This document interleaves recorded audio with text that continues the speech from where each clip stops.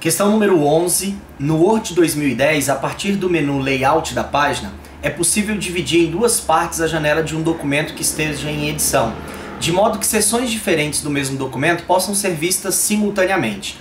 Essa questão é falsa, porque a, o menu Layout da página, que já nem deveria ser chamado menu e sim guia, ele não permite essa divisão do documento em duas partes o, a guia correta ou o local correto para se fazer essa modificação é a guia exibição. Lá tem a opção para dividir a janela em duas partes para que se possa visualizar dois pontos diferentes de um mesmo documento. Então, questão número 11, falsa.